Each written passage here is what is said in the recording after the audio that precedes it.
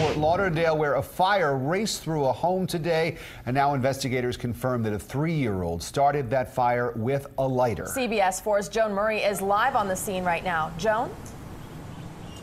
And the home is a complete okay. loss, and fire officials just confirmed to me that indeed the three year old got a lighter, went yes. under the bed in his bedroom put that lighter to the mattress, and that's when the fire began. It spread quickly. It was a small bedroom.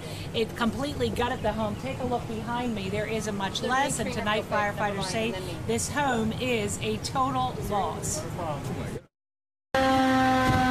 When firefighters arrived, heavy smoke was pouring from this one story home at 2510 Northwest 30th Way, Fort Lauderdale. Initial reports were children were trapped but that turned out to be false.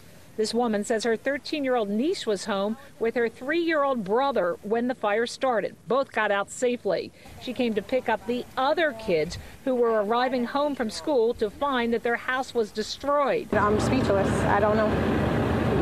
So didn't know what to do. Firefighters say it started in a back bedroom, and the 13 year old told them that the three year old had started the fire in a back bedroom. Multiple reports, uh, and what we're getting from the family, the multiple reports, and based on where our investigators are looking, it does appear to match what the homeowners were saying happened. The 13 year old was taken to the hospital to be treated for smoke inhalation. When I heard the screaming, I ran around, and my neighbor called the police and they called the fire department. This man was working close by when he heard the 13 year old screaming for help after escaping the flames with her five year old brother. She was hysterical, didn't even know what street she lived on.